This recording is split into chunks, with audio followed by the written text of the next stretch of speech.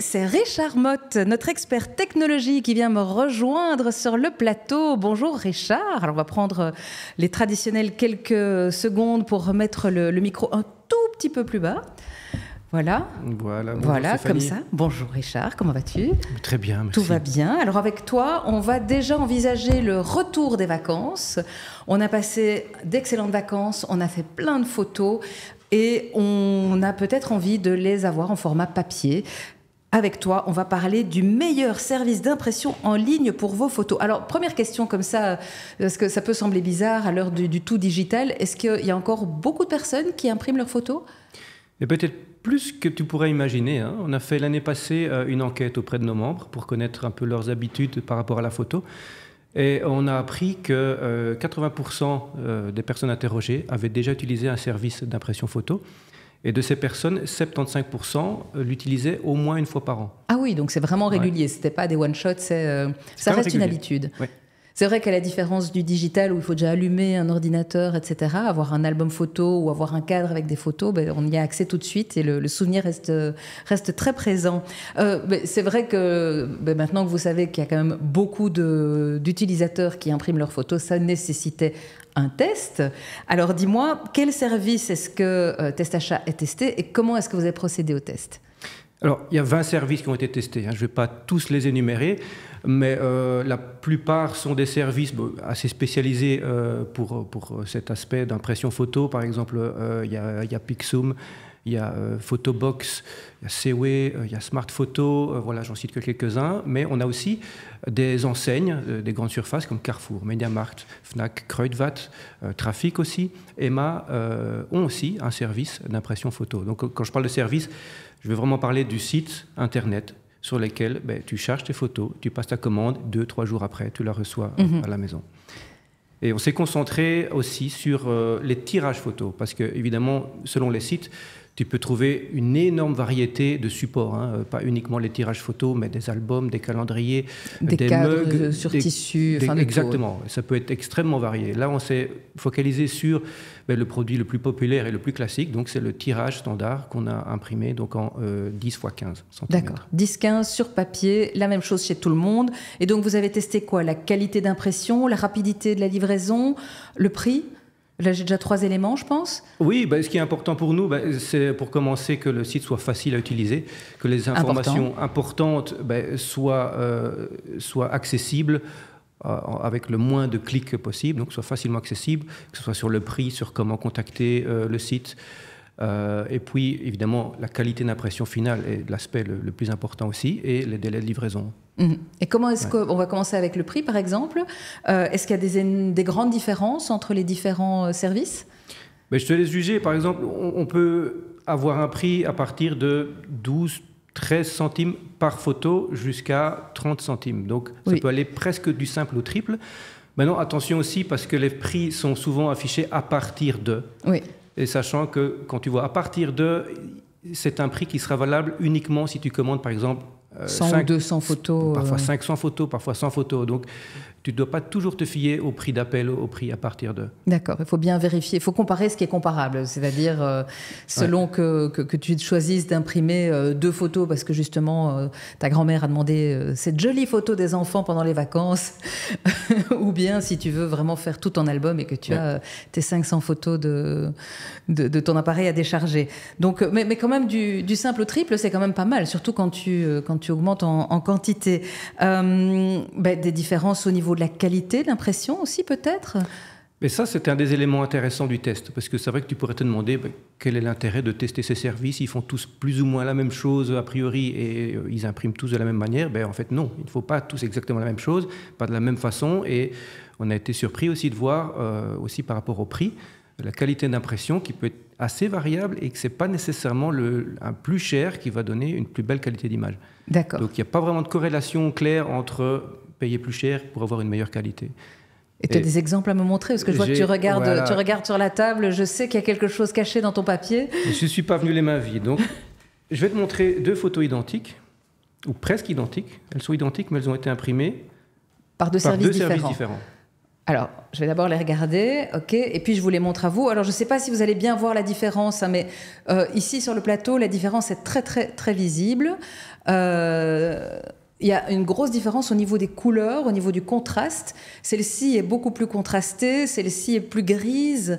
Euh, les couleurs sont moins vives et moins lumineuses. Alors c'est une question de goût, tu me diras, mais moi je préfère celle-ci qui est, qui est, quand même...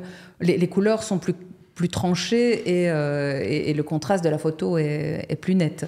On est d'accord et on est tous arrivés aux mêmes con conclusions que toi. Euh, c'est beaucoup plus net, euh, les couleurs sont plus lumineuses. Euh, tout, voilà, elles ont été, cette photo a été beaucoup plus appréciée. Ah oui, mais voilà, je suis pas la seule. T'es pas la seule. Même chose ici, deux Alors, photos identiques imprimées. Ah, ici, ici, vous allez voir la différence à mon avis. On a une différence flagrante, de nouveau, de qualité de couleur et de contraste. Laquelle est laquelle Voilà. Donc il y en a une où vraiment le, le fond est très noir et euh, la jolie petite fille sur la photo, euh, sur celle-ci, je trouve qu'elle a un peu l'air malade. Sur celle-ci, elle a l'air beaucoup plus vivant du coup. Euh, donc moi je préfère celle-ci avec le, le, fond bien vert et, et des, des, couleurs humaines sur son visage. Ben, tu as tout résumé parfaitement en fait, hein, et c'est exactement pour ça que euh, cette photo a obtenu des meilleurs scores aussi chez nous.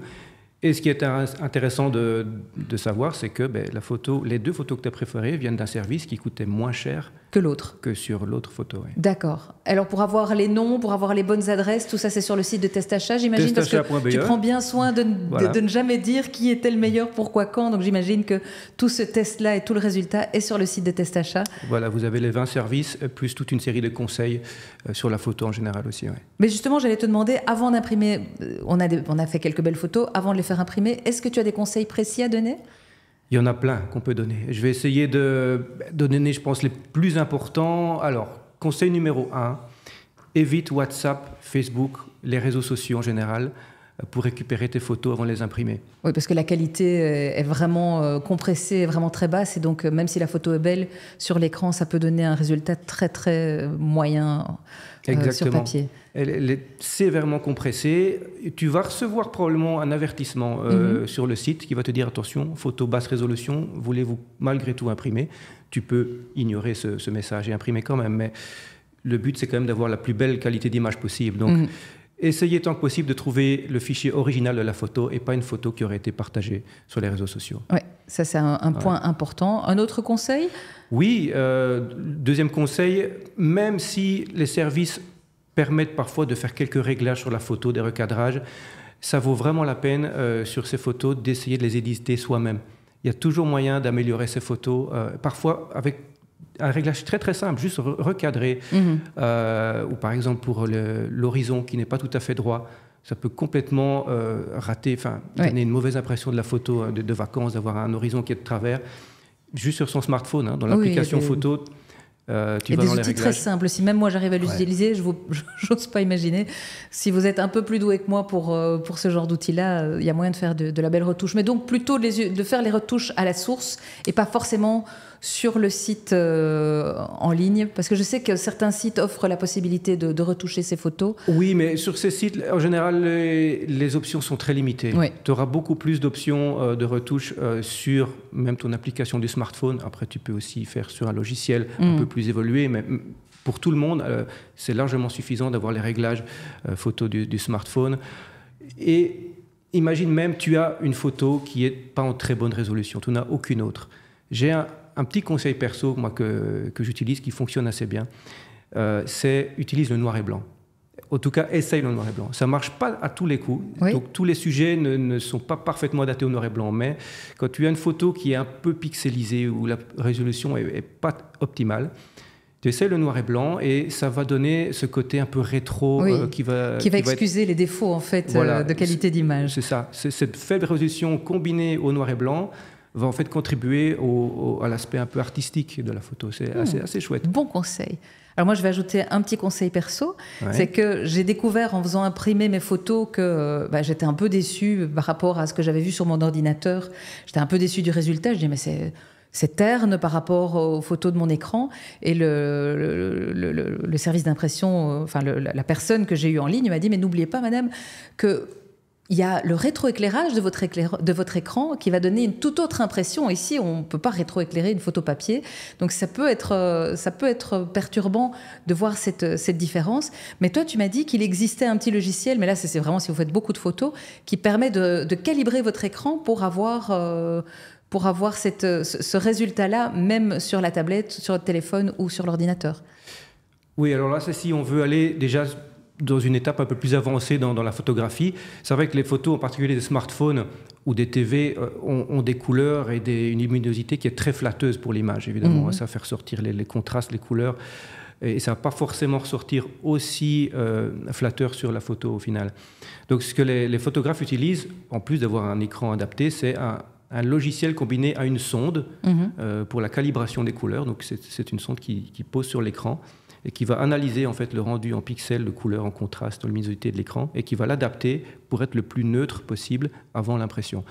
Là, évidemment. Oui, là, on est, on est déjà dans un upgrade euh, quasi professionnel et je ne sais pas si ça va parler à tout le monde. Enfin, bon, si vous ne saviez pas, sachez que ça existe et que ça peut être euh, une bonne chose. Sinon, sachez aussi que bah, il est quasiment inévitable d'avoir une, une, différence de luminosité entre un écran rétroéclairé et une photo papier, même si l'impression est belle et qu'on a bonne mine dessus. La photo risque de toute façon d'être un petit peu plus sombre que ce que vous voyez en général sur l'écran. Donc, il ne faut pas hésiter à, à, pousser un peu la luminosité. Voilà, exactement. Eh ben, merci beaucoup, Richard. Avec plaisir. Je te rends les photos. Je les reprends. Et puis, euh, ben, euh, bonne photo à toi cet été. J'espère que tu auras de, bons sujets à prendre euh, avec ton appareil. J'espère aussi. merci, À bientôt.